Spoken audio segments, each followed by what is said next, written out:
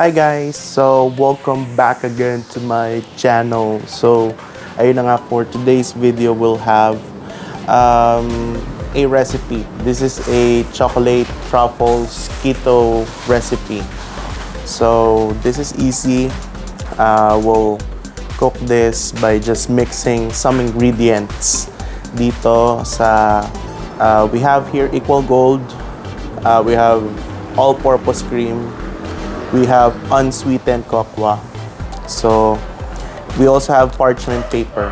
So yun lang yung need natin. We have um, parang square oven na lalagyan here.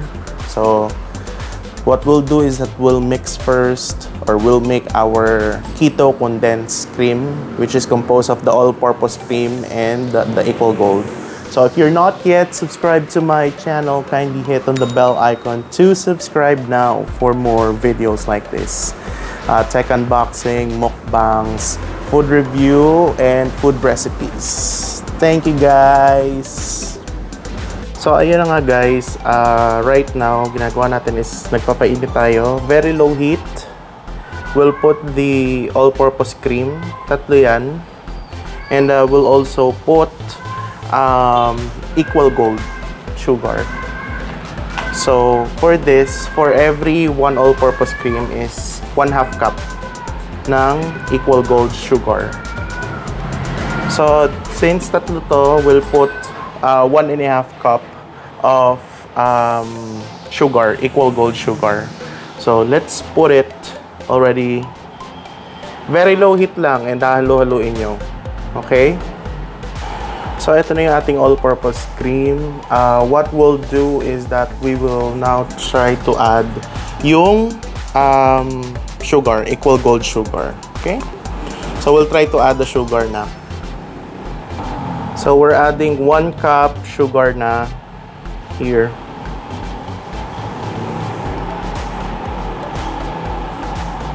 Another half cup kasi tatlo yung all-purpose cream. And then halu-haluin natin hanggang parang maging condensed na siya. So this is the keto condensed uh, milk that we'll try. So ayun na nga, we'll just keep on mixing it. Siguro a few minutes lang naman to na papainitin dito. And then later on, ang gagawin na natin is uh, we're going to add yung cocoa, unsweetened cocoa natin. Hanggang sa parang maging parang brownie uh, dough mix na siya for the truffles. Okay? So, we'll get back to you guys. Ayan siya. oh. So, since it's cooked na nga guys, uh, what we'll do is that we'll put um, gradually itong ating unsweetened cocoa. So, hahalu-haluin lang natin siya. We'll put, uh, for example, 1 cup muna and then uh, we'll ihalo natin siya dito and then we'll mix it hanggang sa parang maging dough-like na yung consistency niya. So, I'll update you guys. So, we'll add it now. Ito. And hahalu-haluin lang muna natin siya. We'll mix it. 그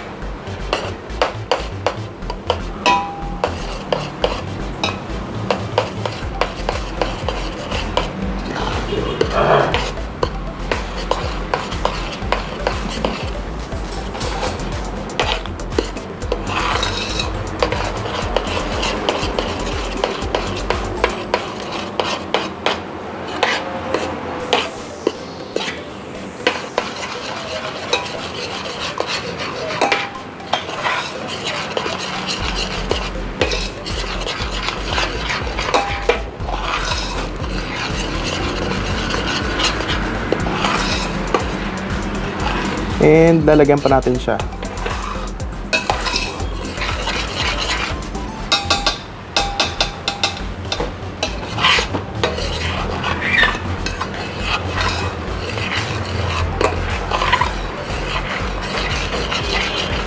We'll put another cup here.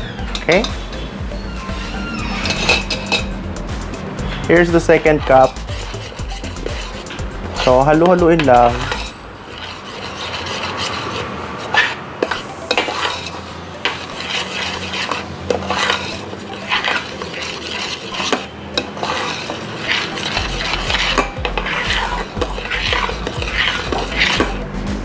Yung medyo nagtithicken na siya.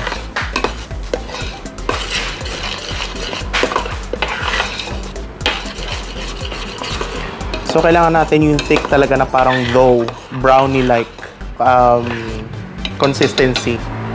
And uh, we'll also put yung parang dust ng cocoa dito sa ating tray. Ayan.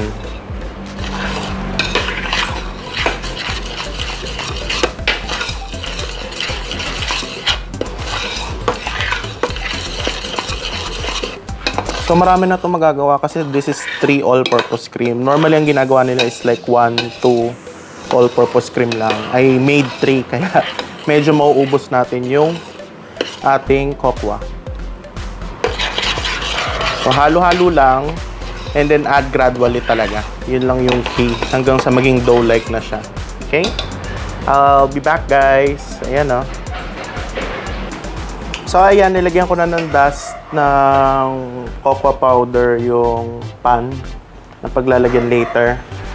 So meron siyang parchment paper tapos nagdust na ako ng cocoa. Unsweet, unsweetened cocoa. And ito, tuloy pa rin tayo sa paglalagay ng cocoa hanggang sa maging dough-like na siya. Okay? This is the third um, unsweetened cocoa na cup third cup na natin to. So, medyo parang nagiging dough-like na siya. Siguro konti na lang to. Siguro last one na after nito. Pero, looking good so far. So, we'll just wait hanggang maging parang dough-like na siya. Okay?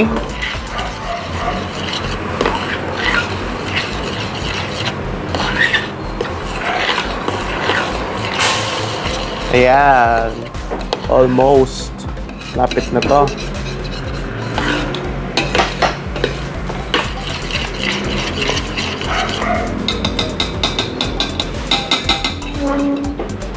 So, ito na nga guys. Ayan, medyo dough-like uh, structure na siya. Ayan. Naglagay na ako ng dust dun sa ating mga pan na paglalagyan. So, lalagyan lang natin to nitong uh, parang chocolate mixture, chocolate dough mixture natin. And then, idadust ulit sa ibabaw ng cocoa, unsweetened cocoa. So, I'll update you guys. Ayan, ito siya oh. So, ito na siya guys. Ayan na siya.